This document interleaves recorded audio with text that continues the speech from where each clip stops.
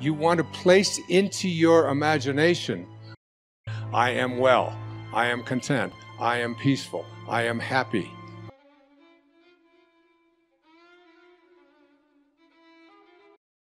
I am well. I am peaceful. I am well. I am prosperous. I am abundant. I am God. I am God.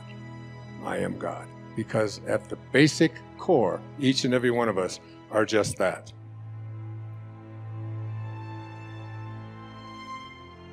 Here's what I'd like you to say to yourself I know that I am pure spirit, that I always have been, and that I always will be.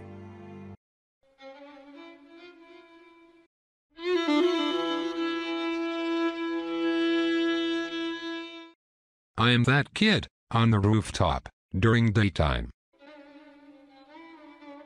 There is inside me a place of confidence and quietness and security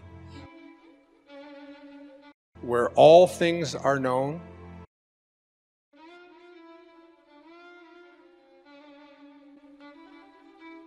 There is inside of me a place that is quiet. I am one with the universe. The universe takes care of me.